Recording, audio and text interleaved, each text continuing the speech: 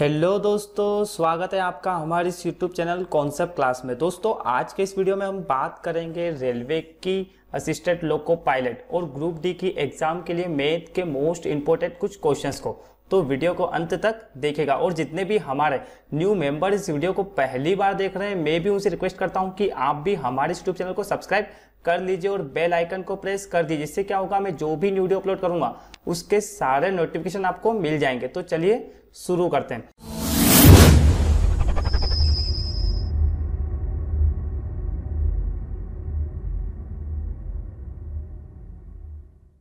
First question पहला question क्या है कि एक निश्चित राशि पर निश्चित ब्याज दर पर प्राप्त ब्याज, राशि का 25 बटे सोलह है। यदि दर प्रतिशत और वर्ष में समय बराबर है तो दर प्रतिशत ज्ञात कीजिए। मतलब सवाल में हमें यहाँ पर यह गिवन है कि एक निश्चित राशि पर एक निश्चित ब्याज दर पर प्राप्त ब्याज राशि का कितना है? 25 बटे सोलह है। मतलब साधारण ब्याज जो है, वो क्या है? मूलधन का कितना है? मतलब पी का कितना है? 25 फाइव बाय सिक्सटीन है। देन आगे ये बोला गया है कि यदि दर प्रतिशत और समय बराबर हो मतलब कहने का मतलब ये कि आर परसेंट और टी समय, ये दोनों क्या है? इक्वल है। तो हमें यहाँ पर ज्ञात क्या करना है? रेट ऑफ़ इंटरेस्ट हमें यहाँ पर फाइंड करना है। मतलब कुल मिला के देखा जाए तो जो रेट आएगी और समय आएगा, दोनों ही क्या होंगे? सेम होंगे। अब इस टाइप के सवाल जब भी आप सोल्व करो तो यहाँ पर मूलधन जो है पी जो है, एक ऐसी राशि मानो जो क्या है? 16 से पूरी तरह डिवाइड हो जाए। या तो आप 16 मान लो 32 मान लो, चौसठ मान लो 80 मान लो, कुछ भी। लेकिन राशि ऐसी मानो जो 16 से डिवाइड हो जाए, नहीं तो क्या होगा? अगर आप 100 मान लोगे तो फिर ये डिवाइड नहीं होगा, फिर पॉइंट में आएगा। हालाँकि आंसर जो है, हर केसेस में सेम आएगा। लेकिन सवाल को आप किस तरीके से ईजी बना सकते हैं, ये आप पे डिपेंड है। अब मैं यहाँ पर मान लेता हूँ कि क्या है कि मूलधन कितना है? अस्सी रुपये मान लेता हूँ। अस्सी रुपये क्या है कि मतलब सोलह से डिवाइड हो जाएँगे। तो साधारण ब्याज कितना हो जाएगा यहाँ पर? ऐसा ही क्या हो जाएगा? मूलधन का क्या है? पच्चीस बटे सोलह। मतलब ये साधारण ब्याज हो गया। अब इसको सोल्व कर ले, क्या होगा? सोलह से सोलह पंजे अस्सी।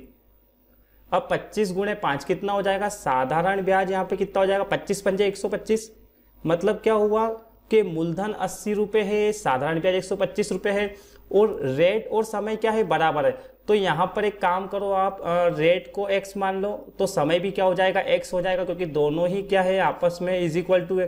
मतलब हमें आर परसेंट ज्ञात करना है और आर परसेंट का फार्मूला आपको अच्छे से पता है क्या होता है? रेट ऑफ़ इंटरेस्ट बराबर एस आई गुणे में सो और डिवाइड में क्या हो जाएगा यहाँ पर? पी मल्टीप्लाई टी अब हमें यहाँ पर क्या है कि साधारण ब्याज कितना दिया हुआ है? इधर कर लेते काम करते हैं। साधारण ब्याज दिया हुआ हमें 125 देन उसके बाद हमें मल्टीप्लाई हंड्रेड पी दिया है हमें, कितना है यहाँ पर? अस्सी रुपये हो गया। उसके बाद यहाँ पर टी जो हो जाएगा वो एक्स और आठ परसेंट भी क्या माना हमने? एक्स माना। बस इसको आप सोल्व कर लो, जो भी होगा वो आपका आंसर हो जाएगा। तो यहाँ पे कैंसिल करेंगे तो क्या होगा? बीस से कैंसिल कर लो, बीस चौके अस्सी, बीस पंचे कितना हो जाएगा? सौ। अब यहाँ पर आप इसका मल्टीप्लाई कर लो तो क्या होगा? X बराबर कितना होगा? पचम पच्चीस, पाँच, बच जाएँगे दो, पाँच, दो, दस और दो, बारह। पाँच एकम पाँच और हसील बच गई एक तो कितने हो गए? छः सौ पच्चीस। और डिवाइड में क्या हो जाएँगे यहाँ पर?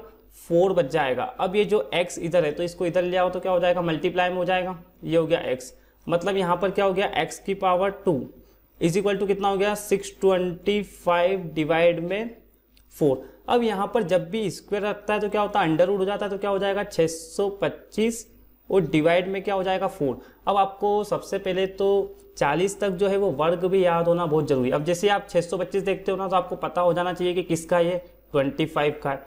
देन दो आ, चार किसका हो जाएगा? तो दो का। तो x बराबर क्या हो गया? इसको कैंसिल करेंगे तो कितना हो जाएगा? बारह पॉइंट पाँच परसेंट। मतलब कहने का मतलब ये है कि जो रेट ऑफ़ परसेंट है वो कितनी है? साढ़े बारह परसेंट। तो समय भी क्या हो जाएगा? समय भी तो साढ़े बारह हो जाएगा। साढ़े बारह वर्ष हो जाएगा। क्योंकि रेट ऑफ़ परसेंट और समय दोनों ही बराबर है। तो यहाँ पे आपसे दर प्रतिशत पूछता है तो भी साढ़े बारह और समय भी पूछ सकता है तो दोनों ही पूछ सकता है, लेकिन दोनों के ही आंसर क्या होंगे? साढ़े बारह। फ़िलहाल क्या पूछा है? रेट ऑफ़ इंटरेस्ट तो यहाँ से जो हमारा आंसर होगा वो क्या होगा? बी वाला। B is right answer next question next क्या है यहाँ पर कि एक 130 मीटर लंबी ट्रेन 45 किलोमीटर प्रति घंटे की चाल से एक प्लेटफॉर्म को 30 सेकंड में पार करती है। तो प्लेटफॉर्म की लेंथ हमें ज्ञात करना है मतलब लंबाई हमें फाइंड करना है। सबसे पहले क्या दिया हुआ है हमें कि एक 130 मीटर लंबी ट्रेन है। मतलब ये क्या हो गई एक हम इसको ड्रॉ कर लेते हैं, मान लेते हैं, ये क्या है, एक ट्रेन हो गई। जिसकी लेंथ हमें पता है कितना है 130 मीटर है। देन उसके बाद क्या है कि इसकी चाल भी हमें पता है कितनी हो जाएगी, स्पीड इज़ इक्वल टू कितनी हो जाएगा 45 किलोमीटर पर आवर ठीक है? देन उसके बाद क्या बोला है कि एक प्लेटफॉर्म को, मान लो ये हो गया, एक प्लेटफॉर्म हो गया ये हो गया, क्या हो गया? प्लेटफॉर्म हो गया या पुल हो गया, एक ही बात है। उसको पार करने में समय कितना लेती है? मतलब इस प्लेटफॉर्म को पार करने में जो है वो टाइम लेती है तीस सेकेंड का। तो पूछा क्या है? इसकी लेंथ हमें पूछा है मतलब प्लेटफॉर्म की क्या लंबाई हमें ज्ञात करना है? जब भी आप इस टाइप के सवाल करो, रेलगाड़ी के सवाल, मैंने इसका एक पर्टिकुलर वीडियो भी डाल रखा है, अगर आपने उसको नहीं देखा है तो उसका भी लिंक मैं डिस्क्रिप्शन बॉक्स में दे दूँगा। अब हमें यहाँ पर क्या है कि जब भी कोई रेलगाड़ी, किसी भी प्लेटफॉर्म हो गया, पुल हो गया, अन्य रेलगाड़ी हो गई, जब भी पार करती है तो क्या होता है कि दोनों का ही लंबाई का योग होता है। तो फ़िलहाल यहाँ पर क्या है, हम प्लेटफॉर्म की लंबाई एक्स मान लेते तो यहाँ पर ये ट्रेन जब चलना स्टार्ट होगी तो जब यहाँ पर इसका अंतिम बिंदु होगा तब क्या होगा? ये रेलगाड़ी जैसे ये ट्रेन हो गई। ये इसका अंतिम पॉइंट यहाँ पर होगा तो क्या होगा? प्लेटफॉर्म पार हो जाएगा। मतलब ये जो है 130 मीटर इसकी लंबाई है तो क्या होगा? दोनों की लंबाई के योग के बराबर दूरी तय कर जाएगी। मतलब डिस्टेंस कितनी हो जाएगी यहाँ से? x plus one three zero. ठीक है? अब इतना आपको समझ में आ गया। अब यहाँ पर हमें चाल दी हुई है। दूरी में हमें x ज्ञात करना है और समय भी दिया हुआ है। तो आप कोई सा भी फॉर्मूला इसमें यूज़ कर सकते हैं। दूरी बराबर क्या होता है? चाल इंटू समय होता है। दूरी बराबर होता है, यहाँ पर क्या होता है? चाल इंटू समय मतलब d बराबर होता है s इंटू टी अब डिस्टेंस हमें कितनी पता है? x plus one three zero is equal to speed हमें पता है 45 लेकिन आपको यहाँ पर ध्यान रखना है कि स्पीड किलोमीटर पर आवर दी हुई है दूरी मीटर में दी हुई है, समय सेकंड में दिया है तो हमें चाल भी क्या चाहिए? मीटर पर सेकंड में। तो इसको किलोमीटर प्रति घंटे में तो मीटर पर सेकंड में चेंज करेंगे तो क्या होगा? पाँच बटे अट्ठारह।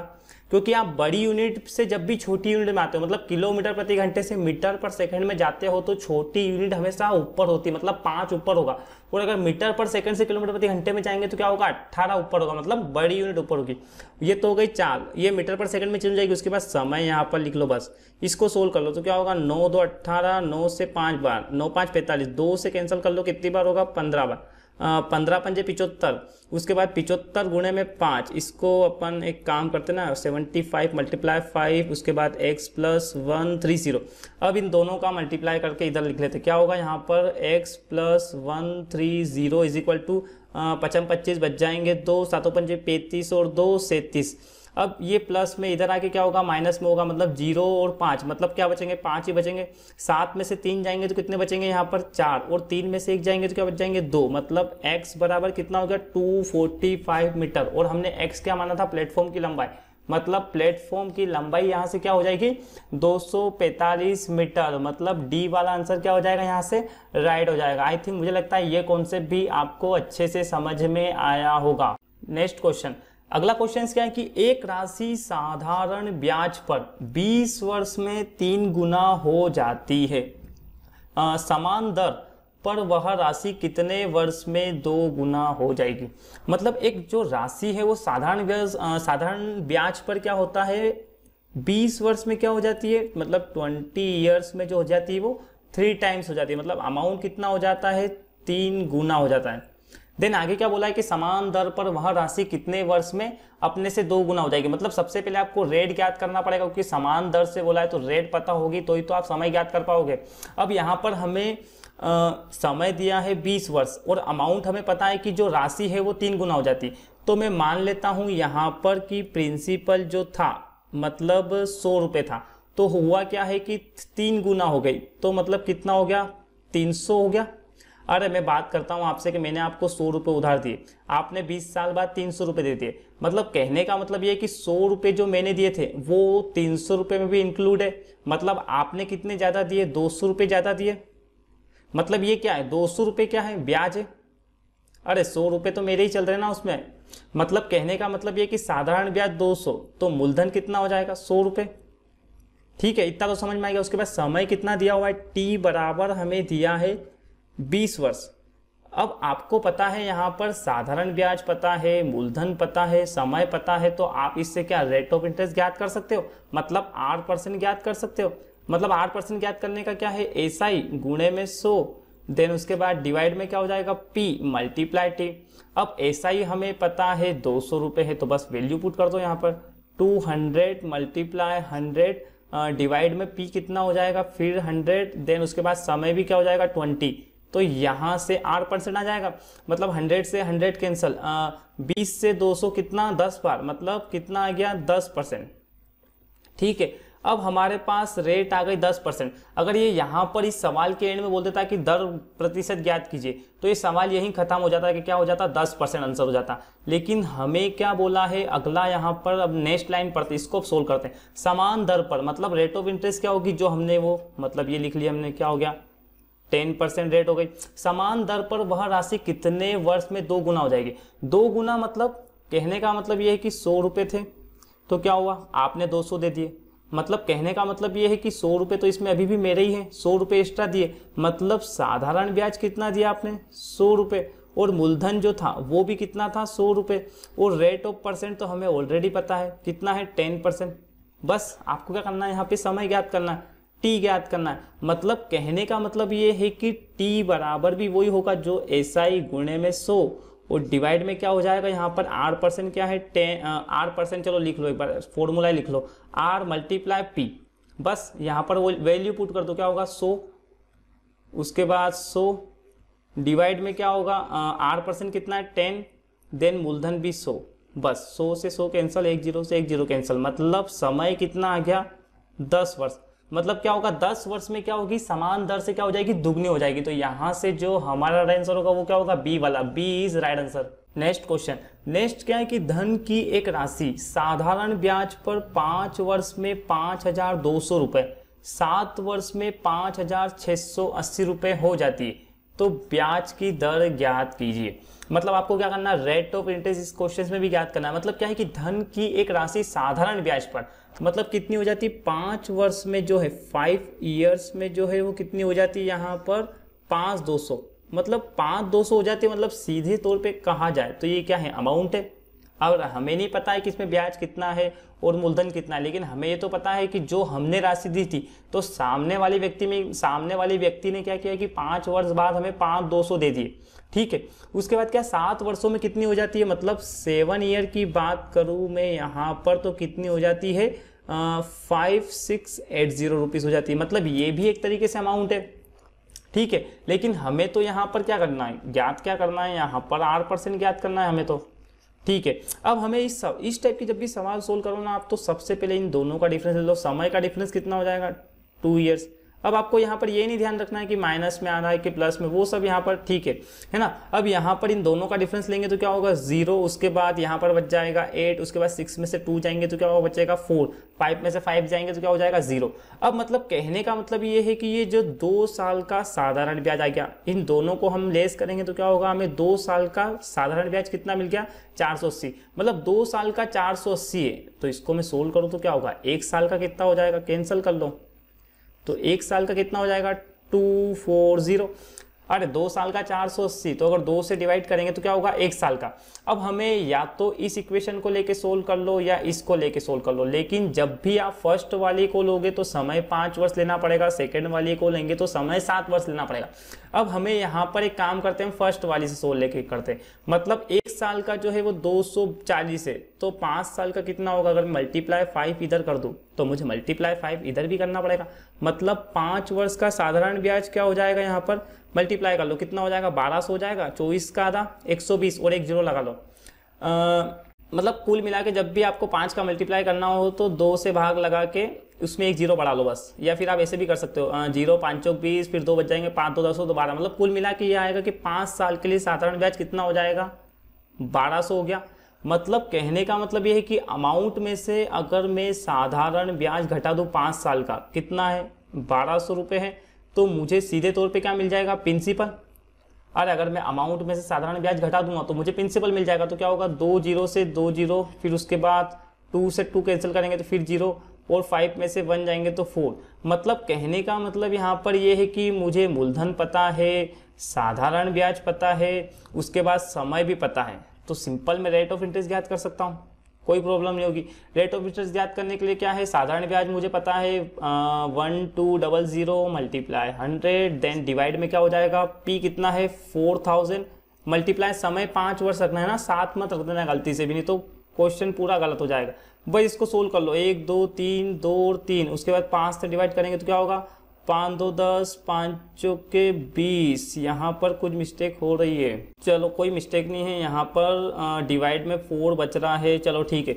इसको कैंसिल करेंगे तो क्या होगा? चार से चौबीस को मतलब छः परसेंट। तो रेट ऑफ़ इंटरेस्ट कितनी हो जाएगी यहाँ से? Six percent. आप एक काम करना है इस क्वेश्चन को जो है सोल्व करना और समय जो है इस बार सात वर्ष रखना है और इसमें से माइनस करना।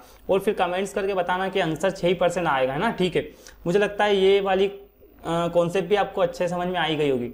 नेक्स्ट नेक्स्ट क्या है कि दो पाइप, ए और बी, एक टैंक को क्रमशः 20 मिनट और 30 मिनट में भर सकते हैं। यदि दोनों पाइप को एक साथ खोल दिया जाए तो टैंक भरने में कितना समय लगेगा? मतलब कहने का मतलब ये पाइप और सर्टेन और टाइम एंड वर्क के जो क्वेश्चन है, वो एज इट इज़ सेम होते हैं। मतलब आपने अगर या तो टाइम एंड वर्क अच्छे से पढ़ लिया या पाइप एंड सर्टेन के क्वेश्चन अगर अच्छे से कर लिए तो दोनों ही बहुत ही आसानी से आप कर सकते हो। मतलब कहने का मतलब ये कि दो पाइप ए और बी अलग अलग कितनी कितनी देर में भर सकते हैं? ए जो है वो 20 मिनट में भर सकता है, देन बी जो है वो 30 मिनट में भर सकता है। अब बोला यहाँ पर यह है कि अगर दोनों को ही मैं एक साथ खोल दूँ तो टैंक भरने में कितना समय लगेगा? मतलब कहने का मतलब ये कि ए प्लस बी दोनों एक साथ कितने समय में भर पाएँगे? इस टाइप के क्वेश्चंस जो है एक तो ये तरीका होता है कि आप एलसीएम लेके कर लो, या एक तरीका ये होता है कि जब भी आपको दोनों का वर्क निकालना हो या दोनों एक साथ कितने समय भरेंगे या इस टाइप के, इस तरीके से सोल्व करना। तो हमें क्या करना पड़ता है कि यहाँ पर जो है इन दोनों का मल्टीप्लाई ऊपर मतलब चलो मैं लिख देता हूँ ए मल्टीप्लाई बी और डिवाइड में क्या होगा इन दोनों का योग मतलब ए प्लस बी बस। यहाँ से इसका आंसर आ जाएगा। सोल्व भी कर लेते, क्या होगा यहाँ पर? 20 गुणे में 30 डिवाइड में दोनों का योग क्या होगा? 20 और तीस, पचास? मतलब एक ज़ीरो से एक ज़ीरो, पाँच से पाँच छंगती छः दो बारह मतलब दोनों मिलके कितने दिन आ, कितने मिनट में भर देंगे? बारह मिनट में ए प्लस बी ये तो हो गया एक फॉर्मूले के बेस पे। अब इसको अगर एलसीएम के बेस पे करेंगे तो मतलब ए जो है वो पूरा टैंक भरने में बीस मिनट लेते हैं। तो एक मिनट में कितना भरेंगे? एक बटे बीस। उसके बाद बी जो है तीस मिनट। तो क्या होगा? एक बटे तीस। एलसीएम मेथड से बता रहा हूँ ना ये? ए प्लस बी अब आपको क्या करना है यहाँ पर 20 और 30 एक ऐसी संख्या लो एलसीएम क्या होता है वह छोटी से छोटी संख्या जो दी गई संख्याओं से पूर्णतः विभक्त हो जाए। मतलब एक संख्या ऐसी मान लो जैसे आ, मैं यहाँ पर मान लेता हूँ साठ तो क्या होगा साठ जो है वो 20 से भी डिवाइड है 30 से भी डिवाइड है तो 20 से कितनी बार डिवाइड है तीन बार तो मल्टीप्लाई वन में तीन कर लेंगे तो क्या होगा तीन ही बचेगा। तीस से दो बार। तीन प्लस दो कितना होगा? पाँच बटे साठ इसको सोल्व करेंगे तो क्या होगा? एक बटे बारह। फिर आपको क्या करना पड़ेगा? लास्ट में आके बदल पलटना पड़ेगा। मतलब बारह मिनट में क्या करेंगे? ए और दो ए और बी, दोनों मिलकर उस टैंक को भर देंगे। तो आई थिंक मुझे लगता है कि ये वीडियो आपको बहुत ही अच्छे तरीके से समझ में आया होगा। अगर ये वीडियो आपको पसंद आए तो प्लीज़ लाइक शेयर और कमेंट ज़रूर करें। और अगर अब तक आपने हमारे इस यूट्यूब चैनल को सब्सक्राइब नहीं किया है तो प्लीज़ से सब्सक्राइब कर लीजिए, क्योंकि इस चैनल पर मैं daily railway assistant loco pilot और ग्रुप डी की एग्ज़ाम के लिए मैथ और रीजनिंग के वीडियो लेकर आता रहूँगा। तो थैंक यू